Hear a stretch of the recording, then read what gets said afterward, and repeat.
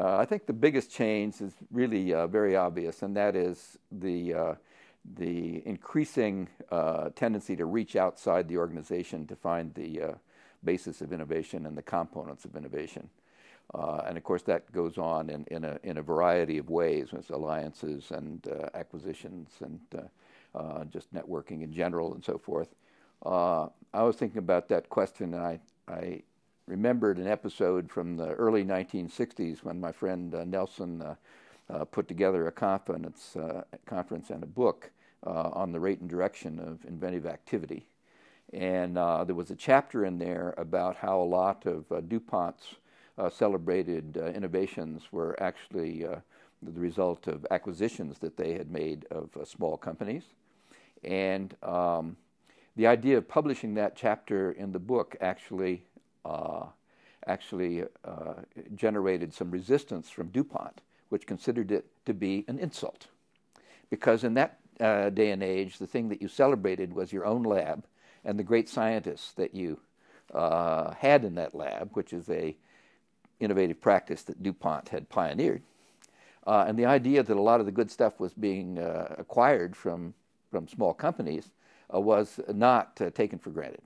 Uh, and today, I think it is uh, pretty much entirely taken for granted that a lot of the things the big companies do is not just generate stuff internally, but to uh, uh but to uh, find things any place and make it work in the marketplace, and, and that is really a big change.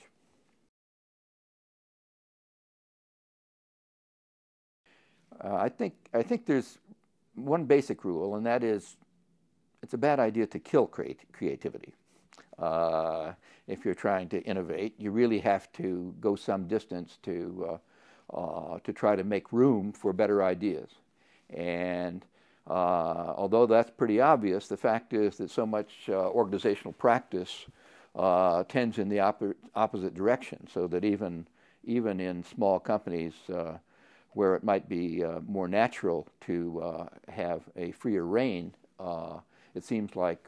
uh, over a short period of time, uh, some of the characteristic types of uh, organizational rigidities uh, uh, kick in, and the hierarchical structures get more and more firmly established, and you create internal environments which are actually hostile to creativity and innovation. So that that is a big mistake, and uh, some of the, what we've talked about this morning is, um, you know, is basically some rules or ideas for avoiding that big mistake. And when you get past that very general point, I'm not sure there is much that really uh, unifies the entrepreneurial startup and the big corporation, uh, uh, uh especially if the big corporation is uh, itself doing big things. Now, we can have uh, big corporations doing lots and lots of small things, and then, then there may be more resemblance between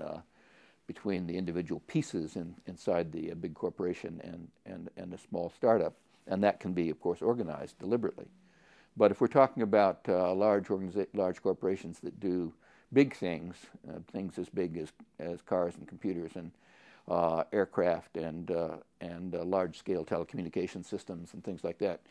uh, I think it's very hard to run innovation in those settings in the way that is very similar to the way that you do it in an entrepreneurial startup.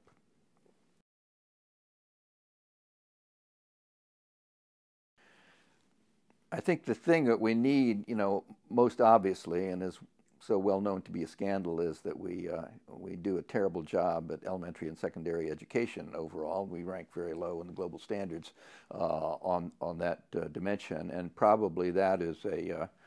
that is a crippling effect on us in the long run. Fortunately, we do much better in uh, advanced education. So uh, in that area, we're an export have an export industry and and are something of a world leader. Uh, but um, another really major heading, I think, is, the patent system. And my, my opinion is that the existing patent system is, uh, is uh, really terribly designed uh, from the point of view of, of our needs. And there's a lot of sentiment out there uh, which uh, concurs with my view on that. Um,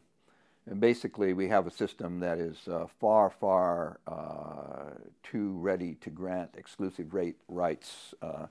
uh in, in, the form of patents to ideas that uh, uh, are at best very marginal improvements on things that already exist, and in some cases are basically really things from the public domain that somebody has packaged and and sent off to the patent office. So there's there's a substantial substantial movement afoot to try to uh, talk about reforming uh, the system. We basically need a system that issues many fewer, much better patents. You know, we need to trade, you know, move on the quantity quality trade-off uh, in a kind of dramatic way. And the, um, the uh, key to that, you know, is, is I just suggested is to have take very seriously the novelty test. You know, you have to have you know some really substantial novelty uh, to really deserve the monopoly right that uh, that uh, the patent represents. And one of the reasons for that, which people seem to uh, to neglect when they talk about the virtues of patents, is the fact that uh, if you if you don't do that, you are you are really denying uh, to people the fruits of their own innovative labors because you know the patent system says that if you have an idea and patent it, uh, it means uh, that I can't do it without your permission. I can't to practice that patent without your permission, even if I thought of everything uh, involved myself. Uh, so the second, third, fourth, fifth, and 73rd inventor of the same thing uh, have their uh, labor go completely unrewarded while we award a monopoly right to the guy who got it through the patent office first. Um, and the, the worse the novelty test, the more serious that problem is, obviously, because getting 73 people to do the same obvious thing is not improbable. So you need a, a really, a really strong novelty test to have a reasonable uh, basis for the patent system, and uh, at the moment we just don't have that.